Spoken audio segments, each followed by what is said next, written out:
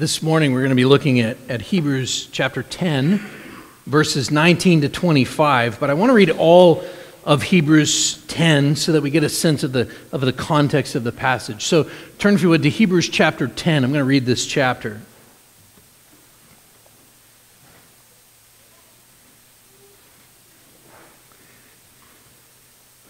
Hebrews 10, beginning in verse 1 For since the law has but a, a shadow of the good things to come instead of the true form of these realities, it can never, by the same sacrifices that are continually offered every year, make perfect those who draw near.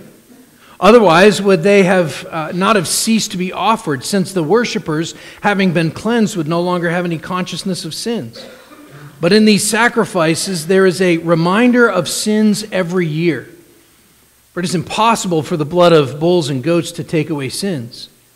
Consequently, when Christ came into the world, he said, Sacrifices and offerings you have not desired, but a body you have prepared for me. In burnt offerings and sin offerings you have taken no pleasure. Then I said, Behold, I have come to do your will, O God, as it is written of me in the scroll of the book. When he said above, You have neither desired nor taken pleasure in sacrifices and offerings and burnt offerings and sin offerings, these are offered according to the law. Then he added, Behold, I have come to do your will.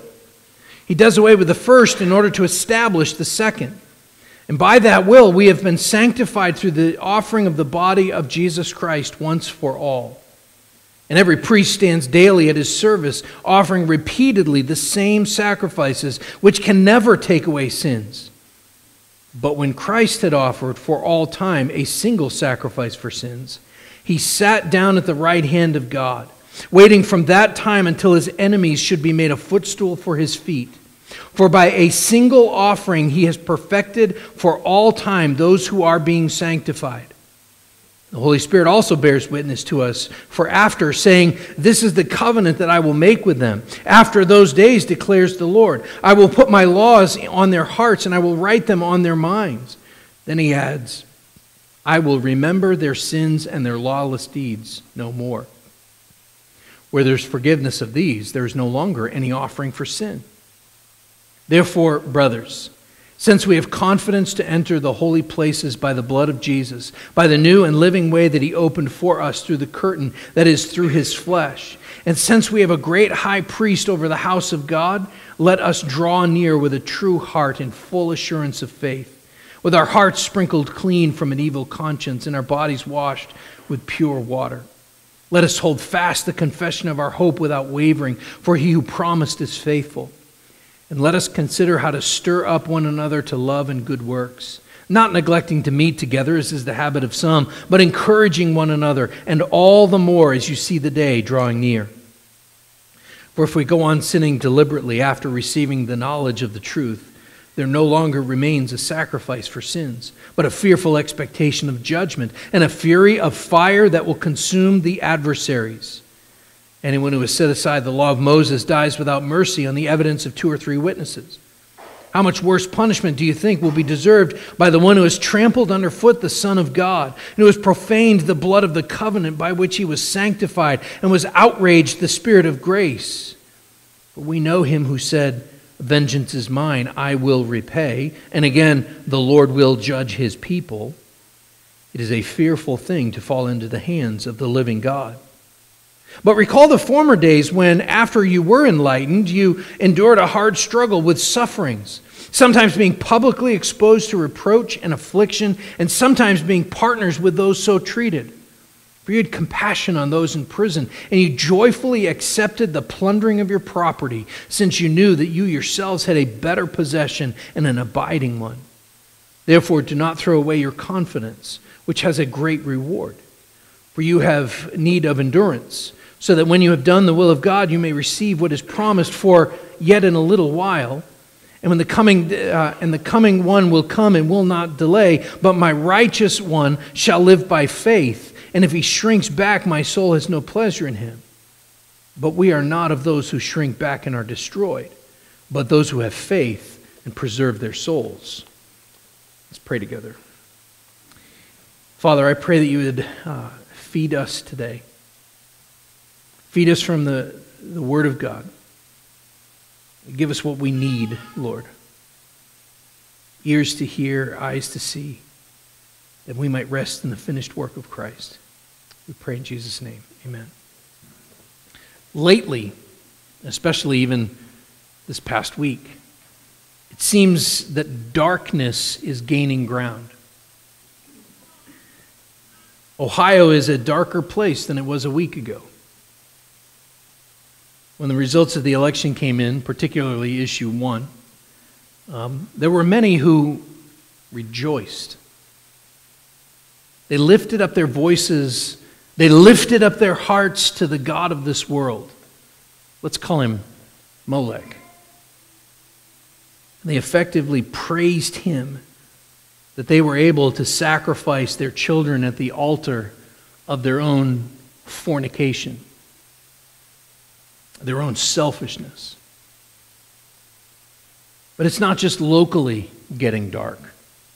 Across the country and even the world, the spiritual forces of evil are fomenting the hatred of Antifa and its subsidiaries. They're fomenting the hatred to rally and riot against, this time it's Israel and her allies. And why? Because Jesus himself said people loved the darkness rather than the light because their works were evil. We all understand that this is not the first time in history where it looks like the darkness is winning. In fact, history is, is filled with ebbs and flows of good and evil. Nations and, and evil leaders have come and gone. Seasons of excess and, and, and rampant immorality have been as predictable as the first snowfall of the year. And through it all, Christ has been building his church. In our day, there's a, there's a Latin phrase from history, uh, the history of the church, that is helpful for us to keep in mind. Post tenebras lux. After darkness, light. That phrase was really the rallying cry of the Protestant Reformation. It was used to illustrate God's, God's gracious revealing of the true gospel after uh, what can only be described as centuries of gospel corruption, rather than a gospel of works, or a gospel that is only available uh, uh through the offices of a church, the Roman Catholic Church or the Eastern Orthodox Church. The Reformation made plain once again the gospel of grace alone through faith alone in Jesus Christ alone. See, before the Reformation, before, say, 1517, a, a typical churchgoer, this would be practically everyone in Europe, for example, a typical churchgoer would walk into church on the Lord's Day they would hear the entire service spoken in Latin, a language almost everybody did not understand. They would be told that the only way to assure that their loved ones would escape from purgatory would be if they gave more money to the Vatican building program. They would have been regularly taught that the way of salvation was to keep the seven sacraments of the church. And even then, they would only be allowed into heaven once they had been completely purged of all sin and in this so called purgatory, a place the, the Bible says nothing of, a, a place that, frankly, does not exist. And the focal point of the Roman Catholic Church service was the Mass. Uh, the, the Catholic Church believed and still believes that the Mass is exactly the same sacrifice that Jesus Christ offered on the cross at Calvary.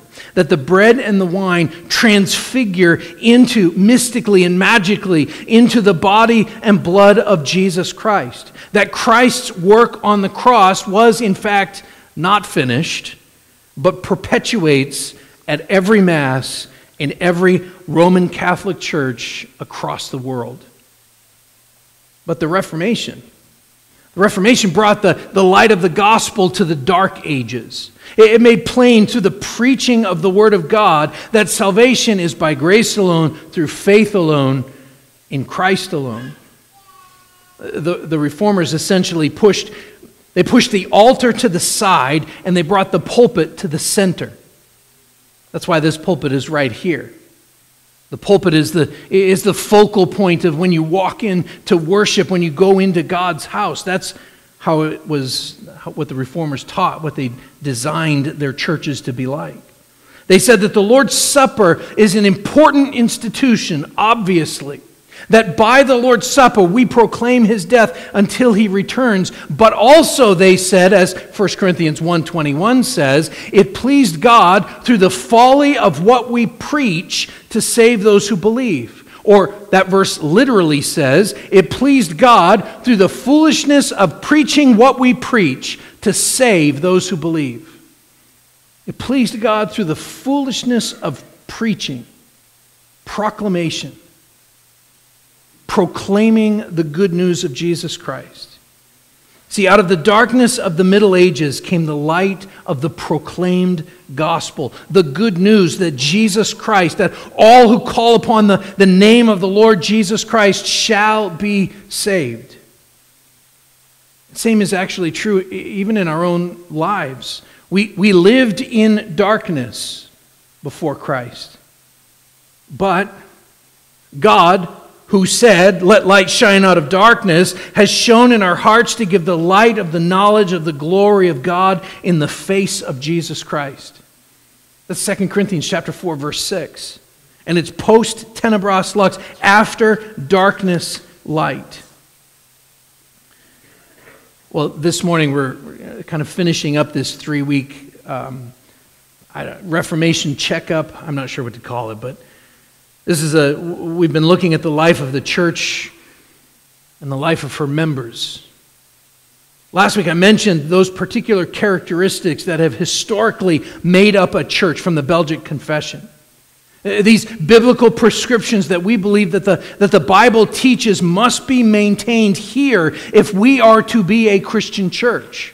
Namely, a, a proper understanding and, and proclamation of the gospel a regular uh, observance of baptism and the Lord's Supper, the practice of, of biblical church discipline as necessary, and that presumes a, a biblical church membership. Over the past few years, um, we've had the privilege of welcoming many new families into, into the membership of this body, Redemption Bible Church. Sometimes when people begin to attend a new church, they're ready to join the membership right away. Sometimes they're ready right away. Others take some time. And as elders, we respect that. There are a variety of reasons why someone would want to join quickly, and a variety of reasons maybe to wait a little while.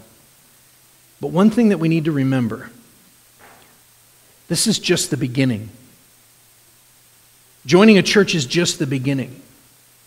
So, as we, as we look at what we think the future might have in store for us as God's people living in 2020, almost 2024, living in this dark time, as we consider what the future might have in store for us, we know, we understand that we are going to face some challenges as Christians as we look at the coming weeks, the coming months, the coming years, years to come.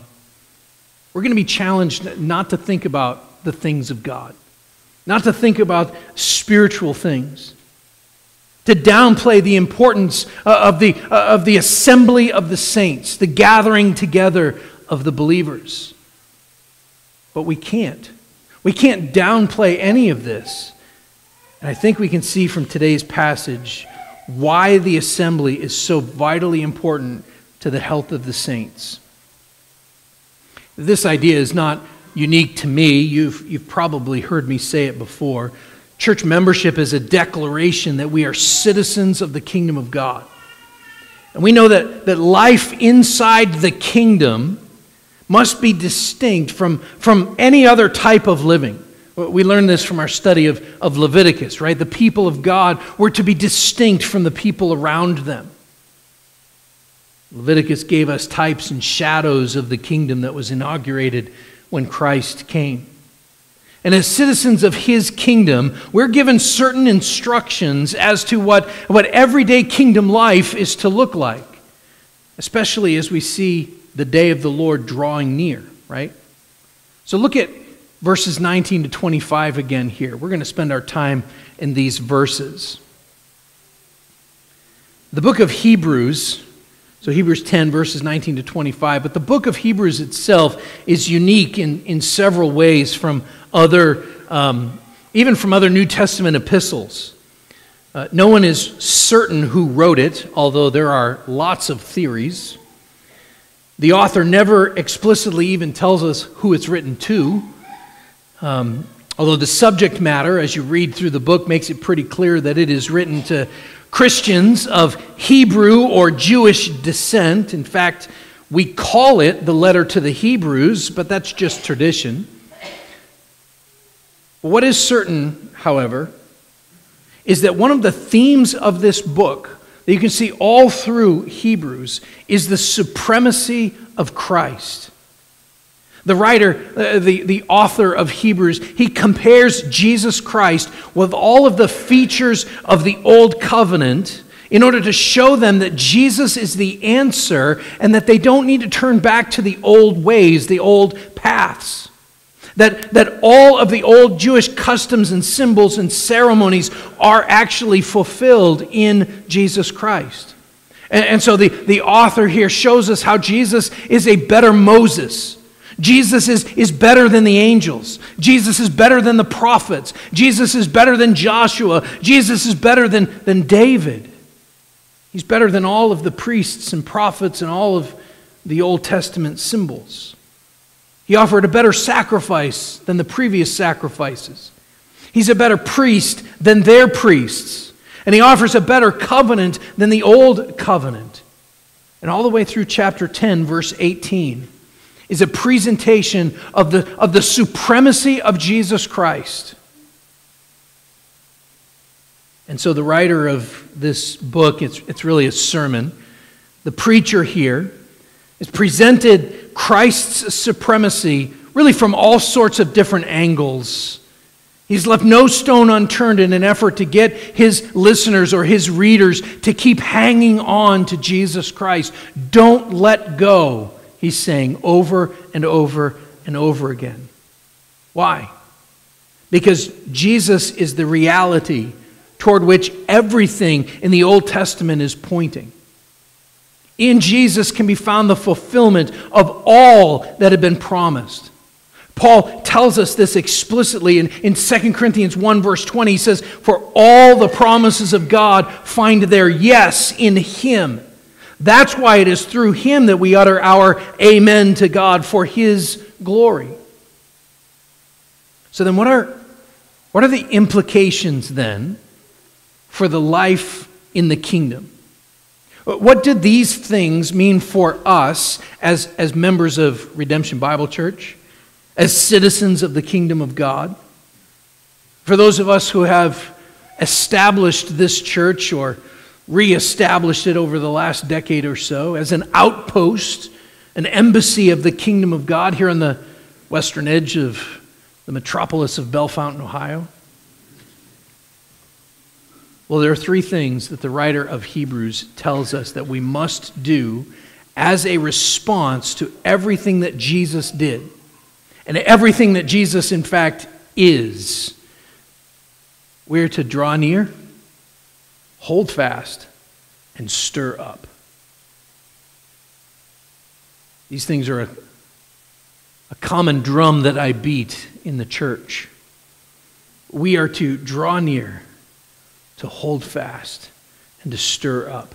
Before we get into that, we need to look at the opening verse of this paragraph. Because the, the first couple of verses here, they, they really summarize some of the central truths that this preacher has been, has been teaching about Christ's priesthood and what he has accomplished for his people in that role as their chief priest. The first thing that we need to notice is that the preacher says in verse 19, therefore, brothers, or therefore, brethren, brothers and sisters in Christ. See, he's, he's writing to fellow Christians. People that he believes, that the author here believes, are his brothers and sisters in Christ. This is important because as we walk through the passage, um, we need to keep this in mind because getting saved Getting saved is not the point of the Christian life. Do you understand that? It's not the end all of the Christian life, getting saved. In fact, a, a, simple summary of the Christian life is that the chief end of man is to glorify God and enjoy Him forever. We've had, um, over the past couple of years, we've had a whole bunch of baptisms. And for them, we praise God. Many of them have been the kids that have grown up in your families and in this church. We also know that, that with baptism, discipleship is really just beginning, right? So, for instance, it's, it's every Christian parent's goal for all of us as parents. It's our, it's our goal uh, that our, that our children would trust in Christ, but we know that it doesn't end there. That getting saved isn't the, the point of the Christian life, it's just the beginning. Now, from that point on, we are taught how to glorify God, how to enjoy Him forever, how to be like Christ, how to be holy as He is holy. Look at the rest of verse 19 here. Therefore, brothers, therefore, brethren, since we have confidence to enter the holy places by the blood of Jesus. What he's just been writing about is that Jesus, as the chief priest, he has fully, perfectly, and permanently accomplished the atonement for the sins of, his, of God's people. Think of Leviticus chapter 16, the Day of Atonement. Do you know why that was necessary? Let's go back to the beginning. In Genesis chapter 2, verses 16 and 17, God instructed Adam like this He said, You may surely eat of every tree of the garden, but of the tree of the knowledge of good and evil you shall not eat, for in the day that you eat of it, you will surely die. And we all know what happened next. They ate, and they died.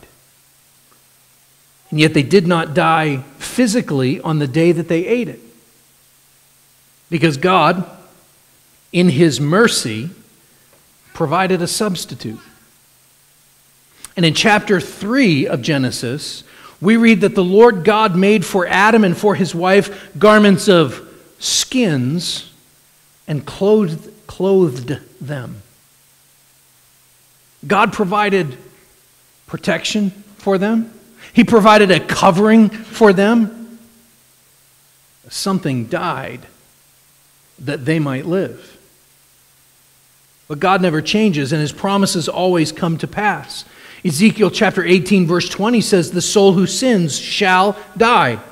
The Son shall not suffer for the iniquity of the Father, nor the Father suffer for the iniquity of the Son. The righteousness of the righteous shall be upon himself, and the wickedness of the wicked shall be upon himself. Or as Romans 6:23 says, the wages of sin is death. But, but now the penalty had been paid. See, up until that time in Genesis 2 and 3, under the Old Covenant, and really throughout the Old Testament, the work of the priests was only temporary. It only represented symbolically what Jesus would do in the future. It was incomplete. All of the animal sacrifices, including that one in chapter 3 that God did himself, all of the sacrifices didn't really cover their sins. They just pointed forward to the, to the true Lamb of God who would pay the full penalty, as John the Baptist would proclaim Behold, the Lamb of God who takes away the sins of the world. That's what he says here up in verses 10 to 14. Just listen to those verses again. By that will, we have been sanctified through the offering of the body of Jesus Christ once for all. For every priest stands daily at his service, offering repeatedly the same sacrifices which can never take away sins. But when Christ had offered for all time a single sacrifice for sins, namely himself, he sat down at the right hand of God waiting from that time until his enemies should be made a footstool for his feet. For by a single offering he has perfected for all time those who are being sanctified, those who have trusted in him, those who are his. As a result of Jesus' work, because of his shed blood, his perfect, spotless sacrifice, the barrier, the, the curtain between God and his people has now been torn down. If you remember, as we worked through Leviticus, in the temple, um, entering the Holy of Holies, or the most holy place, entrance into that was absolutely forbidden by any ordinary people. Okay? In fact, only Levites could even get close to it, priests only. And only the chief priest could actually go in, and then only once a year on the Day of Atonement. The only way into the presence of God was through that curtain, but only the chief priest is allowed in there. But now, now the only way into God's presence is through Jesus Christ. He tore that curtain down and he opened up the way to God. Then, under the, under the old covenant, God's people could only go so far. They could not enter into God's presence. But now, now, because of what Jesus has done, God's people, the citizens of the kingdom, have the right to walk straight past the curtain and into the throne room of God.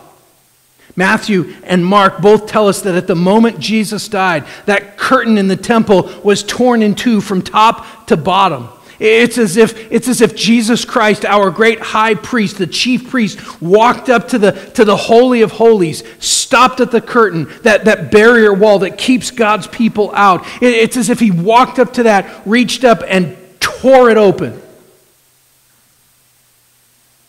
And then he turns to the kingdom, the citizens of the kingdom, and he says, Come. Come and approach the throne of grace. And then he steps through and he sits down at the right hand of the Father. No one, no one else could do that. Only Jesus Christ. Well, that's just a brief summary of all of the things that the author of Hebrews has been explaining over those first 10 chapters. But now, here, beginning in verse 22, really, he begins to spell out how those truths are to be applied to the lives, to our lives as Christians. So, specifically, as I said, he gives, he gives three clear responses to Christ tearing open that barrier between us and God. And the first thing that we are to do as a church is to draw near. Draw near. Look again at verse 22. Let us draw near with a true heart in full assurance of faith, with our hearts sprinkled clean from an evil conscience and our bodies washed with pure water. That verse, to the Hebrew mind, is a startling verse. That verse would give them palpitations if they understood God's law. Remember, this is written to Jews. This is written to Israelites. This is written to those who had clung to the Old Testament as their heritage. And the defining moment of Israel's history was what? It was the Exodus.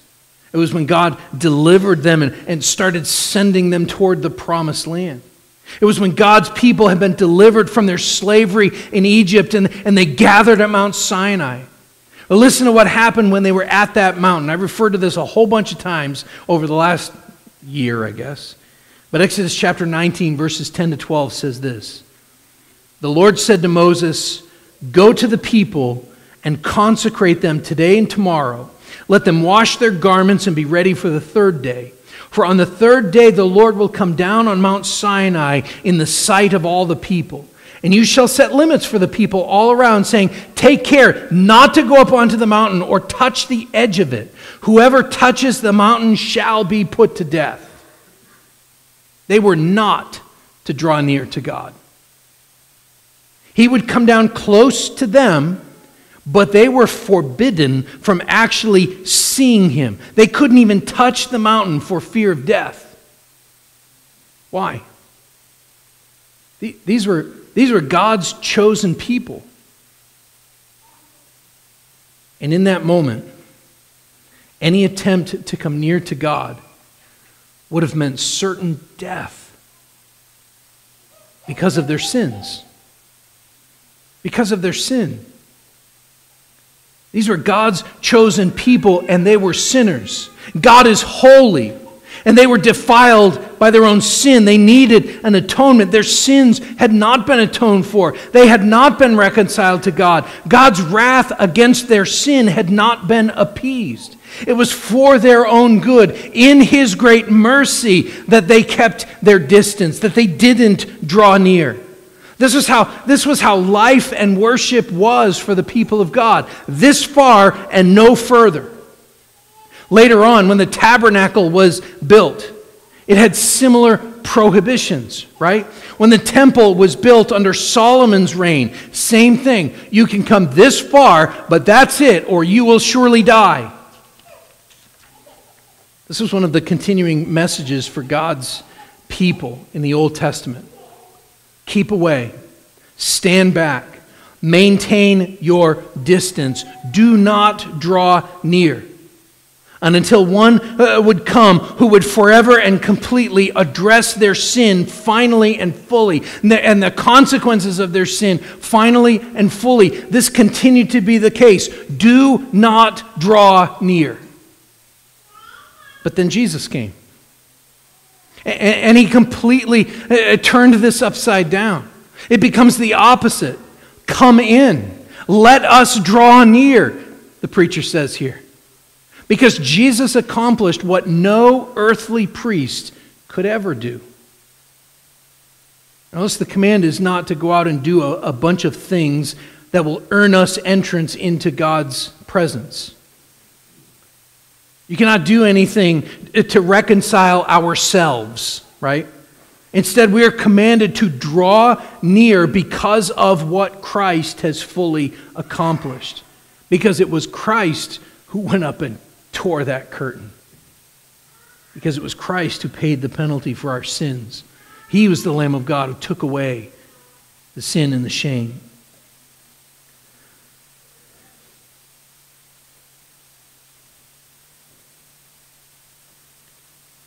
There's nothing else that needs to be done in order for us to enter into God's presence. Not a mass, not sacraments, no works done by us allow us entrance into God's presence. Instead, he says, draw near with a true heart, not just outward appearances. Sometimes people draw near to God in worship simply to be seen, right? Because if you don't, someone will wonder where you are. you don't go to church, right? But that's not the way it's supposed to be. We're supposed to draw near to God, to approach God with true sincerity, with true hearts in full assurance of faith, because of Christ's work. It's, so I'll put it this way if you're a believer, if you have trusted in Christ for salvation, there is no reason to doubt that God will grant access to his throne because we have been made clean. We have been made new. 1 Corinthians 6 11 says, You were washed, you were sanctified, you were justified in the name of the Lord Jesus Christ and by the Spirit of our God. Do you hear that? Christians can draw near because of Christ's work. What does that mean?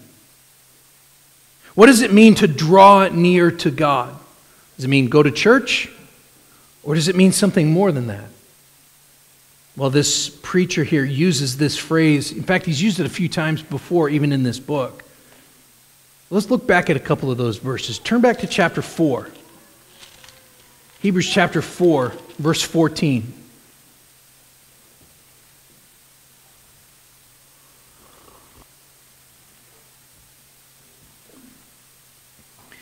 Hebrews 4:14 says since then we have a great high priest who has passed through the heavens Jesus the son of God let us hold fast our confession. For we do not have a high priest who is unable to sympathize with our weaknesses but one who in every respect has been tempted as we are yet without sin sin. Let us then with confidence draw near to the throne of grace that we may receive mercy and find grace to help in time of need. Draw near to the throne of grace. We're told to boldly approach God in his very throne room. As if we were approaching an earthly king to ask for favor and for mercy. We draw near to the throne of grace with prayer and petition. When we pray as a body, when we pray as a church, when you pray individually, we pray through and because of Jesus. We draw near to God because of Jesus. We boldly approach the throne of grace. The, we usually call it the pastoral prayer. I prayed a bunch today, but that long prayer in the middle, that's us drawing near to the throne of grace. I happen to be the one talking, but it is us praying for this church, drawing near to the throne of grace. Now, turn over to chapter 7, verse 25.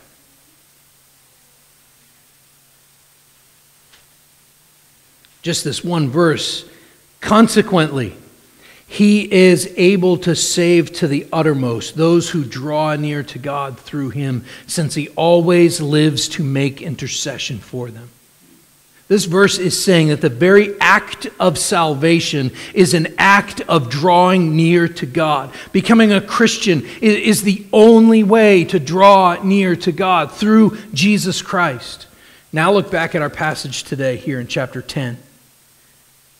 The other way that we draw near is not only, not only do we do it through prayer, chapter 4, not only do we do it by becoming a believer in chapter 7, but here in chapter 10, we draw near to God by assembling with other Christians who profess faith in Jesus Christ.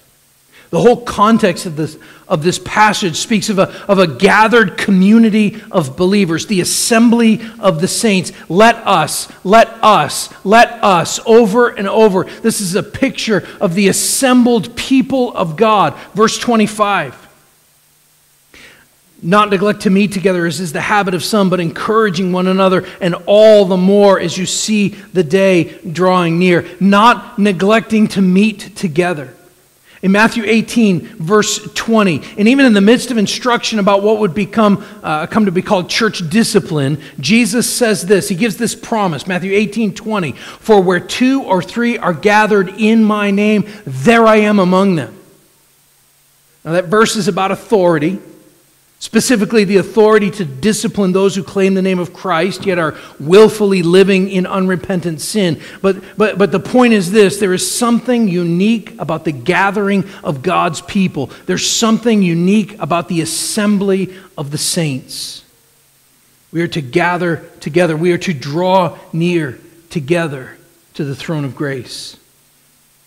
The second thing that we're to do as a church in response to Jesus' work as our great high priest is verse 23. Let us hold fast the confession of our hope without wavering, for he who promised is faithful. Hold fast. We are to hold fast. I know as well as anybody here that it is tempting to fall back to the ways of the world. It is tempting to fall back to the ways of the world. It is tempting to forsake the church.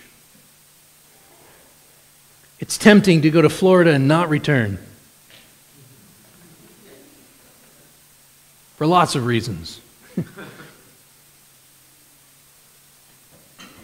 it's tempting to stay home on Sundays, work on projects. It's tempting to stay outside where it's beautiful. It's tempting to stay home and watch the game or to sleep in or to be alone. Those actions, in and of themselves, don't lead to unbelief. They don't cause us to stop believing in the hope for which we wait, the hope for which we gather every Sunday. But the drift is there. The drift of your heart away from the ultimate priority, which is worship. In fact, transformational worship, Romans 12 says. And when this happens, these other things become more important, right? Me time becomes more important. Whatever projects we each happen to be working on becomes more important than the gathering together, the assembly of the saints. Our hearts drift away from the confession of our hope toward those idols that we have made more and more important. But some say, you, you don't understand. Those things are important. I know. They are important. But we need to hold fast to what is of ultimate importance. And I think that when we cling to those other things, whatever they are, it shows us that it is possible. It, it is possible that you've never really embraced the hope that can only be found in Christ. Paul said in 2 Corinthians 13, verse 5 Examine yourselves to see whether you are in the faith. Test yourselves. Or do you not know this about yourselves that Jesus Christ lives in you, unless indeed you fail to meet the test? We must hold fast as a church. There are whole churches and denominations that have drifted and continue to drift away from the gospel of Jesus Christ. We're. Well, I'm standing. You're sitting in one that did previously drifted away from the gospel of Jesus Christ.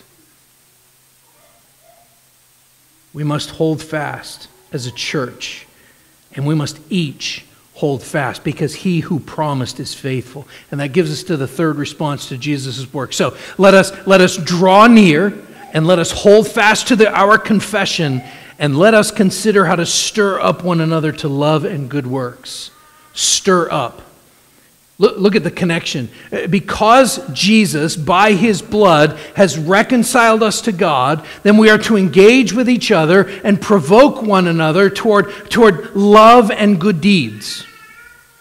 Listen, a genuine, a genuine response of faith to the completed work of Christ is love for his church, love for his bride. And this love can be seen in our ministry to the church, our love for one another, our engagement with one another in the, within the church. This is a church that genuinely loves one another. I've seen it, I know it, I've experienced it. This is a church that genuinely loves one another. And we are to continue to provoke each other to imitating Christ, to stir up. That's what stir up means there. It means provoke. Uh, it's like stirs on the back of your boots. We are to spur one another on. We are to stir one another up. We are to poke one another with a stick until we act like Christ for the sake of the kingdom. How do we do this? How, how, do, we, how do we draw near? How do we hold fast? How do we stir one another up? Again, verse 25. Not neglecting to meet together, as is the habit of some, but encouraging one another, and all the more as you see the day drawing near. We don't do this by neglecting to meet together. We don't do this by saying that Christianity, some would say, is a private religion. It's no one else's business. Christianity might be personal, but it's not private. The Christian life is supposed to be lived in community. It's supposed to be lived in a community of like minded believers, which you're doing. How do we do this? By meeting together by coming together, by making it a priority to be with God's people and to, to connect with this local body of believers. We do this by making the pulpit, the gathering together under God's word, a priority in our lives, even each week as we, the covenant people of God, draw near with a, f- a true heart in full assurance of faith. We do this by making the, the table, or, or, or, let's say the fellowship, the breaking of bread together. We do this by making this an opportunity to know and love one another so that we can fulfill that long list of one another's that we see throughout the New Testament. That we may consider how to stir up one another to love and good works, which will result in our taking the gospel out to the world, to the square, to the public, to our neighbors to our coworkers, to our friends, all the while holding fast to the confession of our hope without wavering, for he who promised is faithful. That, that without wavering part, that's going to be hard in the next couple of years. For some, it's been hard already. We hold fast the confession of our hope without wavering, for he who promised is faithful. This is the point that the preacher of Hebrews is making here. He's emphasizing the absolute necessity of the citizens of the kingdom to gather together, to spend real time together, because without that, there's no way that we can encourage one another toward love and good deeds, inside or outside of the church. And without it, we will inevitably drift away from our confession of hope. Without that, without a confession of hope, we will inevitably, eventually, stop drawing near to God. I was talking with a couple of guys at the door earlier this morning about all the churches around that are small and shrinking. Not all of them have drifted, but a lot of the people who used to fill them have.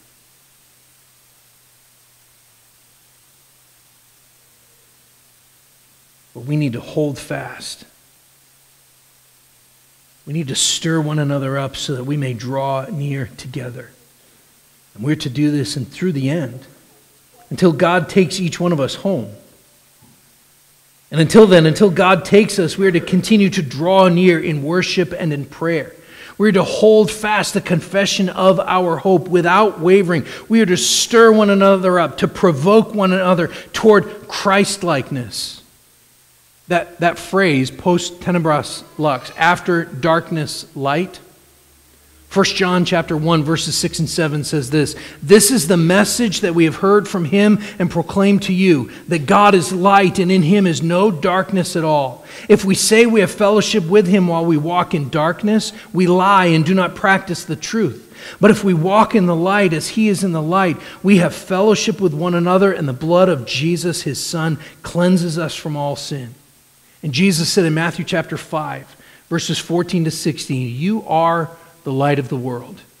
A city set on a hill cannot be hidden. Nor do people light a lamp and put it under a basket, but on a stand. And it gives light to all in the house. In the same way, let your light shine before others so that they may see your good works and give glory to your Father who is in heaven. We live in a dark world, but we are called to let the light of the gospel of Jesus Christ shine. And as the light shines in the darkness, the darkness shall not overcome it. The darkness shall not overcome it. We're the light of the world. We got to shine as the Newsboys sang. It's, it's in my head. I can't. Let's pray.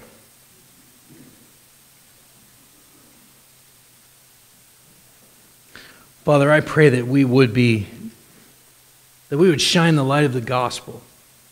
Not shine the light of personality of our church or how awesome our church is or anything like that, but that we would shine the light of the gospel into a a crooked and perverse generation. That we would shine the light of the gospel into the hearts of those who walk through the doors, those that we have contact with at, at our jobs, our neighbors, our friends, our family who live around us and are, and are trapped in the darkness, wandering around, unable to see the truth. Father, that we would be the light of the world, that we would shine the light of Christ that we as a church would always shine the light of Christ. That it would be obvious in our love for one another. That it would be obvious in our worship. That it would be obvious in our care for the lost, our compassion for the souls of those who are, who are condemned already. That our light would shine the light of Jesus Christ. We pray these things in Jesus' name. Amen.